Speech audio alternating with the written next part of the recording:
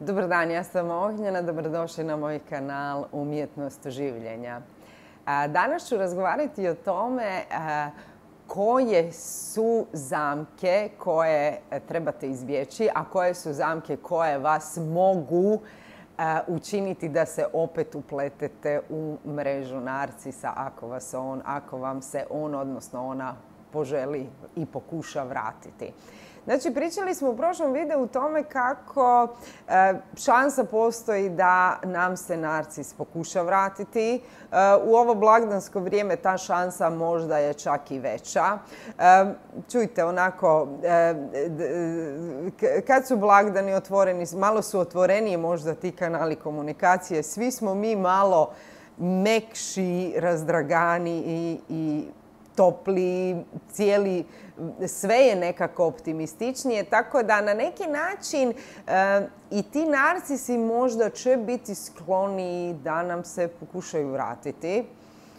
To naravno će ovisiti samo o tome imaju li oni novi izvor hrane ili nemaju. Ako nemaju ili izgube izvor hrane ili iz čiste razonode, oni nam se mogu pokušati vratiti i zato sam rekla ono što je jako bitno držite čvrsto svoje granice i ne dajte ih, ovaj, nemojte ih puštati kako ovaj, se ne biste opet upleli u narcisovu mrežu. Međutim, koje su zamke i što je ono što može nas učiniti slabijima i recimo prijemčivima na ove narcisove pokušaje vraćanja? prvo i osnovno usamljenost. Znači, čujte, svi smo mi nekad usamljeni i usamljenost je, ajmo reći, jedno stanje sa kojim se svi mi nosimo, svi mi imamo načina da se nosimo. A, međutim, kada smo usamljeni, mi smo možda skloniji e, otvoriti se ljudima i e, pozitivno odreagirati znači, na neke kontakte. Što znači, sjedim doma pa sam usamljena i onda mi se javi narcis i onda ajmo probati šta može poći po zlu. puno toga. Puno toga može poći po zlu ako, je, ako, se, ako se radi o narcisu i znate šta je u biti uvijek problem. E, e, ma koliko ste vi daleko dogurali na tom nekom vašem putu oporavka i na tom nekom vašem putu povratka samom sebi ili samoj sebi, onog časa kada vas narcis onako povuče i, i, i uhvati u zamku, vi ste, vi ste odmah, e, e, vi se automatski vratite nazad na početak I, i, i sve ono što ste postigli i sve ono što ste napravili e, za sebe odjednom pada u nepovrat. Tako da e, nemojte zaboraviti da svaki vaš potez, znači prema narcisu, e, zapravo znači da, da uništavate sve ono što ste učinili za sebe. Nemojte to činiti sebi. Narcis je narcis.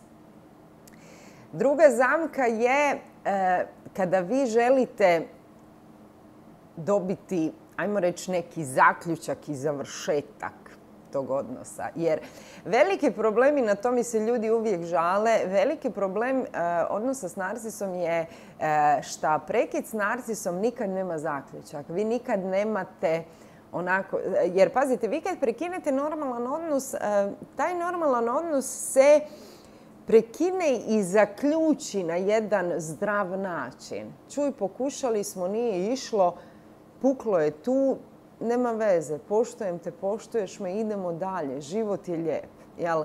Znači, ali vi imate znači, taj neki osjećaj zdravog završetka. Vi kada prekinete s narcisom, vi zapravo nikad nemate osjećaj zdravog završetka. Ako je narcis inicirao prekid, on je vas jednostavno amputirao i vi ste ostali doslovce s velikim upitnikom iznad glave i sa pitanjem ko je tu lud.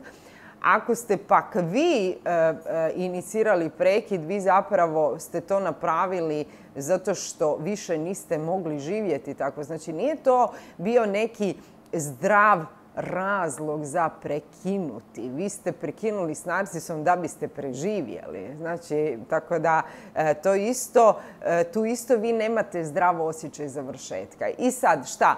E, vi tako jednu naprasno prekinuti odnos, vama se čovjek ide vratiti, znači pokušava vas pridobiti natrag i vi onda pomislite, e, možda ću sada ovim ostvariti i, i, i, i, dobiti znači taj osjećaj završetka, možda ću sada dobiti šansu da završim taj odnos. Ne, to je zamka. E, narcisi ne zaključuju svoje odnose i to iz vrlo logičnih razloga.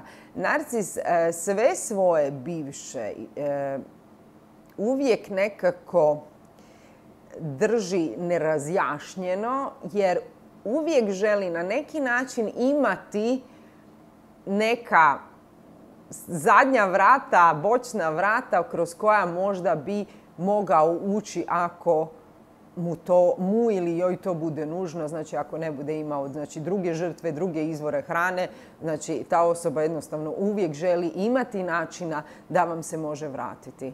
Ako zaključi odnos, tog načina više nema i zato narcis to nikad neće napraviti. Narcis vam nikad neće dati zaključak odnosa, ali znajte da vi možete sami zaključiti taj odnos. Vi ga možete uokviriti, objasniti, pojasniti i ostaviti na stranu u ropotarnicu povijesti.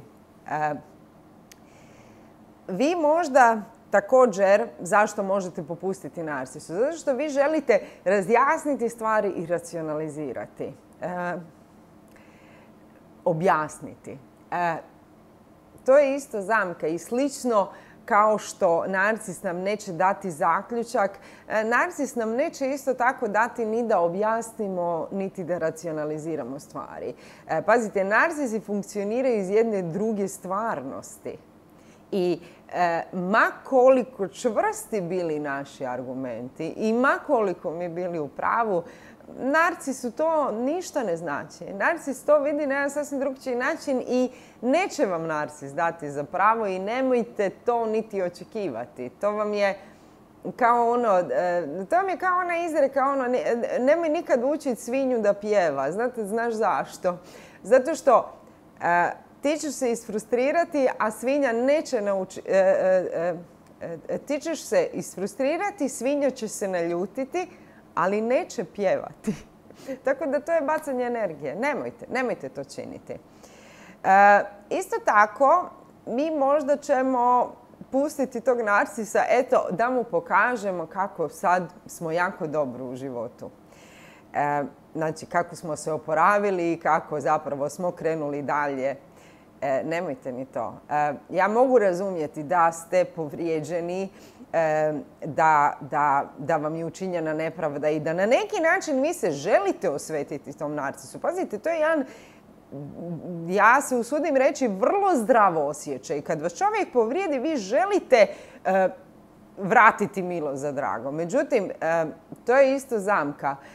Svak svako vraćanje narcisu je za vas jako, jako rizično jer narcis jako dobro zna kako će vas pridobiti, gdje će vas fakat ono, gdje će vas gađati, gdje će vas tući na način da opet od vas učini svog podanika i opet da on, odnosno ona, vuče sve konce. Da li se vi želite vraćati u to? Pustite vi zadovoljštinu da ćete toj osobi pokazati koliko, ste dobri i koliko ste izlječeni. Ako će vas ta osoba opet povući na dno, nemojte im to dopuštati. E, također, e, vi se možete vratiti na Arcisu zato što imate ovaj, zato što e, jednostavno ste anksiozni i vi, i vi imate paniku zato što ste, zato što ste anksiozni i u panici zato što ste prekinuli taj odnos. Pazite, odnos sa narcisom je zapravo, vi ste s narcisom jer ste suovisni i taj odnos je na neki način ovisnički. I vi kada prekinete taj odnos, vi zapravo imate e, e, simptome ustezanja.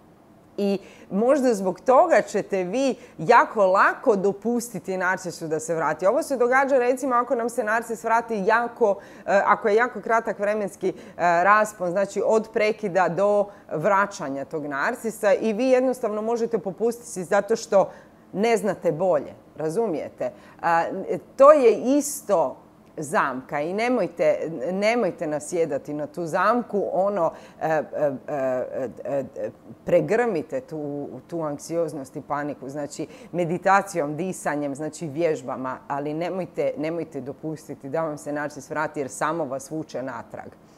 Također, ako ste vi skloni e, e, ugađanju drugima, znači vi možete se vratiti narcisu zato što se na, određenoj razini osjećate se loši i osjećate se odgovornim za, za propast tog odnosa i e, onog časa kada vama narcis da šansu da se obnovi taj odnos, vi jednostavno zbog tog osjećaja odgovornosti vi se vratite tom narcisu opet kažem, ne činite to, niste, to nije vaša odgovornost i nije vaša greška. E, također, e, Isto tako ako ste, znači, apsolutno suovisni, vi možda imate taj poriv da spasite narcisa, znači da tog narcisa volite toliko da ga spasite ljubavlju, da ga ili ju, nemojte, to isto zamka. E, nemate ljubavi koja može e, narcisa spasiti. Narcis može samo sam sebe spasiti ako to odluči alternative nema jer ne, radi to, to jednostavno ne funkcionira drugčije. E, I e, također e, vi možete se vratiti, znači vi možete pustiti narsise da vas opet uvuče u svoju mrežu zato što vam ta osoba obećava da su stvari sada drugčije i vi jednostavno naivno povjerujete da se ta osoba promijenila. E,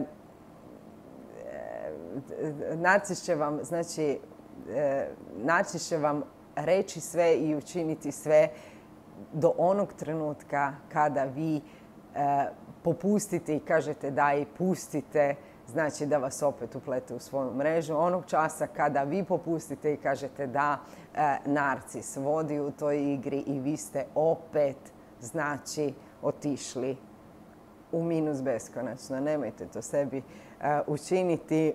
Znači, ignorirajte sve ono, nedostaješ mi, ovo me jako boli, e, ignorirajte znači te isprike koje, koje nisu iskrene, ignorirajte prazna obećanja, ignorirajte darove, znači ignorirajte sve to. Narcis će stvarno učiniti sve kako bi vas pridobio, ali narcis to čini ne zbog vas, nego zbog sebe sad da vam kažem, radije utrošite energiju na osobu koja će vas istinski voljeti koja će i koja će vidjeti vas i cijeniti vas. Evo, to je ono što vam ja želim. Znači, da volite i da budete voljeni istinski. E, hvala vam na ovom razgovoru i hvala vam na vremenu koje mi date. Hvala vam što me pratite. Ako me ne pratite, pretplatite se na moj kanal, uključite obavijesti, odslušajte reklame, hvala vam za to. Ako želite intenzivniji rad jedan na jedan, javite mi se mailom za coaching i ovaj, ako imate komentare, ostavite ih. Ako imate pitanje, ostavite pitanja. Znači jednom tjednom imamo pitanje i odgovore. E, svakako vam hvala za sve vaše doprinose, a do sljedećeg razgovora budite mi sretni i sretni u ljubavi i veseli. Želim vam svako dobro. Ćao!